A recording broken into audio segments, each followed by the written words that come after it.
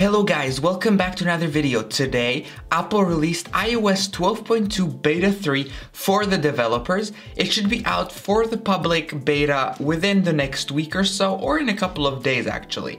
But if you're excited for the new changes in iOS 12.2 Beta 3, then leave a like down below and subscribe to stay updated with all the recent Apple news. This update is not as big as I thought it would be and as the previous ones, but there are still a few things that I would like to share with you as it's quite interesting to talk about as well. You probably have heard about the group FaceTime bug, the whole FaceTime bug that's been going around. It has been patched on their servers for other iOS versions and the official fix was released in iOS 12.1.4 like a week or two weeks ago and now it's actually coming to all of you guys who were not able to use your group FaceTime in iOS 12.2 Beta 2 Beta 3 fixes it for everyone, so you can go call your friends on grouped FaceTime and everything if you're part of the developers though. And for all of you guys, the official release of iOS 12.2 will probably be out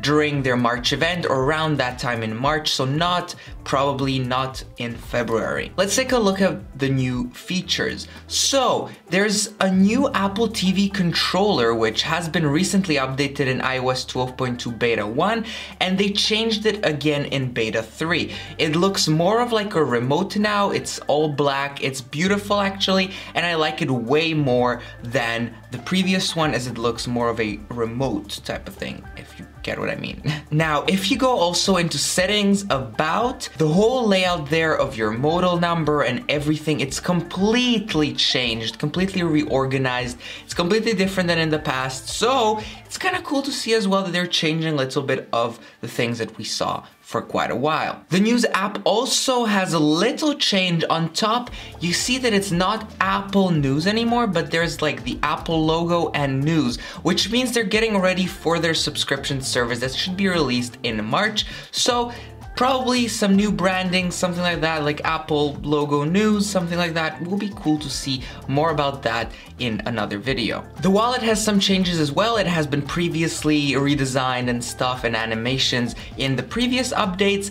Now there are still new animations, new like design, and also it's more clear so you can call your bank, you can go to the website if you have cards on there, it's just more transparent and more clear for those people who use that quite often. The music app also has a little change, so if you're one of those people who watched music videos on the Apple Music app, then you remember you had to go to full screen to watch the music video itself. Now you don't actually have to, it's just gonna show in a small box with your play and everything. So you can go to the full screen later on. But that's all, that's this tiny little update, still a little bit of things, but like if you liked and subscribe to stay updated with all the recent Apple news and I'll talk to you guys later. Okay, bye!